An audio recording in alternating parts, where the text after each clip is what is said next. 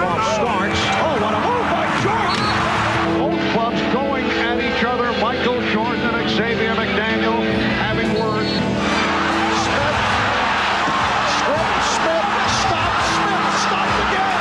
The Knicks over the Bulls in seven. The season ends for the New York Knicks at the hands of the Chicago Bulls. Michael Jordan with 49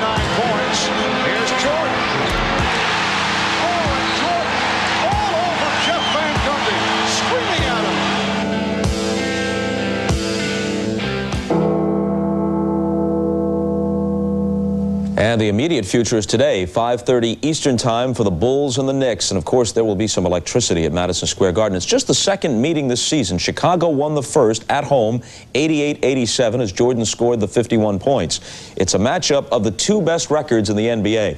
Marv Albert and Matt Guokas join us now for a report. Marveloso. All right, thank you, uh, Bob. And yes, there is a well publicized side issue to today's game. The first time the Knicks and the Bulls met uh, back on the 21st of January in Chicago, Michael Jordan lit up the Knicks for 51 points. A sensational all around game. 51 points, still an NBA high for the season. And when it ended, Jordan lashed out verbally at Knick coach Jeff Van Gundy. Michael visibly upset that Van Gundy had said Jordan uses his friendships and stature to lull some of his opponents, that he cons them.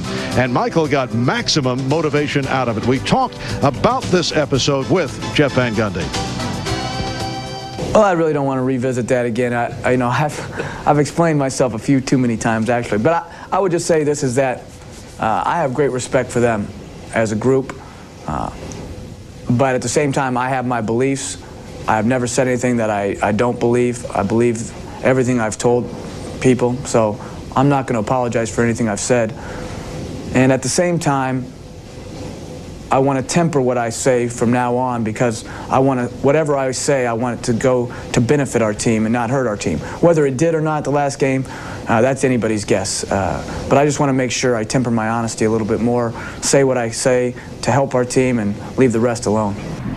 Well, Jeff Van Gundy intended to send a message to his team, and that was don't show too much respect to Michael Jordan. But Michael is a master at the mental game, and he turned all of that around in his favor. And Matt, uh, the latest on Knick starting uh, point guard Chris Childs, who's missed the last five games with a sprained wrist. He did practice yesterday, but uh, his status for today is said to be a game time decision. Back to Bob. All right, guys, thanks a lot. And at halftime, we'll hear Michael Jordan's thoughts on the last meeting between the Knicks and the Bulls and Jeff Van Gundy's comments. Now, the Knicks almost always play the Bulls tough. Almost always the Bulls wind up winning, but they play them tough. What are the keys today? Well, I'm going to talk about the New York side of things. And, uh, you know, they've been winning games in bunches, and Jeff Van Gundy's been employing uh, a lot of various types of lineups. Uh, he's had a lot of success with the three guard rotation. But looking at the stats, and they jump right off the page, pivotal to the Knicks' success today is to play Larry Johnson at small forward for long minutes. It seems as though the Bulls have a certain vulnerability to being attacked by the small forwards. Now, Pete, with the Knicks playing well of late, Patrick Ewing has averaged 28 points in the last eight games, shot about 50% from the floor. Why is he getting more offensive opportunities? Because opponents are afraid to double him. In the past, uh, the, they were wide open. They had only Starks to worry about. But now they've got five guys that they have to pay attention to, four and Patrick Ewing. You got four outside shooters. You know, Larry Johnson, as Julius said, has stepped up his game. Allan Houston, Charles Oakley can hit the outside shot, and Chris Childs might be their biggest clutch shooter. So he's going to be freed up a lot more down low, Patrick. But Phil Jackson told me a couple hours ago that yes, he does not like to double up any double on anybody, particularly Patrick Ewing. But at some time today, tonight, he's going to have to go to him so the others don't get off early and often. All right, a game to look forward to: the Knicks and the Bulls, 5:30 Eastern Time from the Garden. I try to make the, the game uh, perfection. Try to make it a perfect game for myself.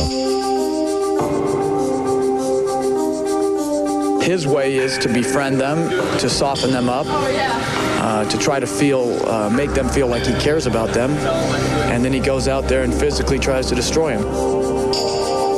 Van Gundy said that I was a con man, which I've never seen con man use in a, in a um, in a polite or, or respectful way. For some reason, league-wide, it's important to be liked by him. I have no idea why. You take negative criticism in a, in, in a I'd take it in a positive way to go out and, and prove a point. I'm sure that uh, Michael will use this for motivation.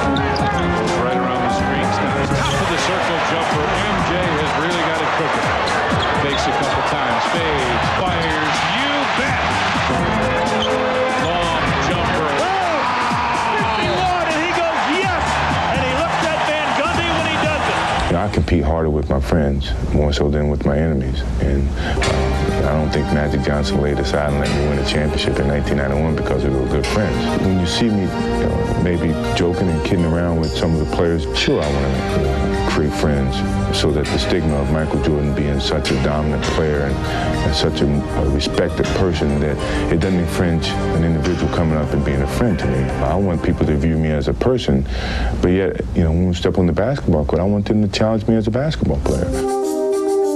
I just think Michael is gone to be becoming a jump shooter, and I don't think he he, he, he puts himself in the, in the body situations where you can knock him around a little bit and be physical with him. These criticism, I think a lot of times it's the motivation for their players uh, to give themselves up or raise their level of intensity towards me.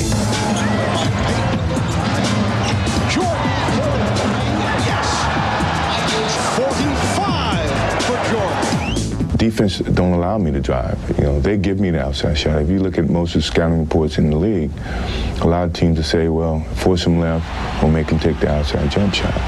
You know, by no means are they going to give me a direct lane to the basket. If so, I would go to the basket. You talk about motivation and, and finding different kinds of motivation. Well, it's not going to happen a lot where coaches are going to say these kind of statements to motivate you.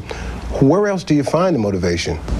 In the course of the game, uh, within myself, uh, challenging myself, you play a team that's not you know, above 500. It's a natural tendency to have a letdown. So the challenge is don't go with the natural tendency. Let's go opposite of the tendency. Or if you want to get individually, you know, maybe I get a triple double.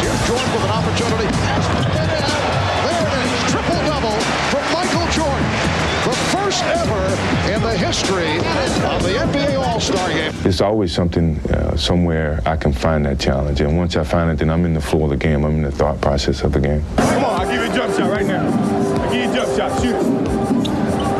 you don't want it. The game has evolved to be more of a mental challenge for me than a physical. You know, and that's one of the reasons that I still play the game because I can challenge myself mentally.